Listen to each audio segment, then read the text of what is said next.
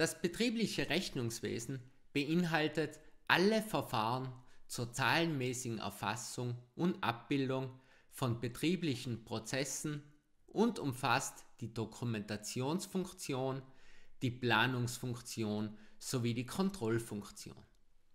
Unter der Dokumentationsfunktion wird verstanden, dass alle im Unternehmen auftretenden Finanz- und auch leistungswirtschaftlichen Sachverhalte dokumentiert und auch systematisch erfasst werden.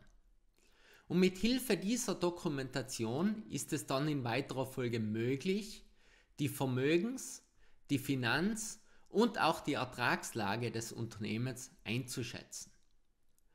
Darüber hinaus dient die Dokumentationsfunktion auch zur korrekten Berechnung von Gewinnausschüttungen, Vergütungen sowie der Steuern und dient dementsprechend dann in weiterer Folge eben auch als Zahlungsbemessungsfunktion. Gehen wir weiter zur Planungsfunktion. Im Rahmen der Planungsfunktion wird eine sachgerechte Planung durchgeführt, um dann in weiterer Folge betriebswirtschaftlich und auch fundierte Entscheidungen treffen zu können. Hierfür liefert das Rechnungswesen die notwendigen Informationen, welche als Basis für die zukünftigen Entscheidungen und die Planung dienen.